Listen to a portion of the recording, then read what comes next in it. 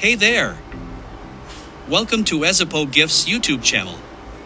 In this video, we'll show you how to design a creative business card that will make a lasting impression. So, let's get started. The first thing you need to consider when designing a business card is the purpose. Are you using it to promote your business, to introduce yourself to potential clients, or just to exchange contact information? Once you have identified the purpose, you can start thinking about the design. Here are some tips to make your business card stand out.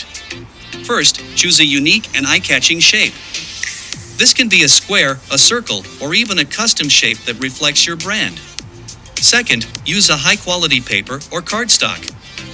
This will give your card a professional look and feel. Third, keep the design simple and uncluttered. Avoid using too many colors, fonts, or images.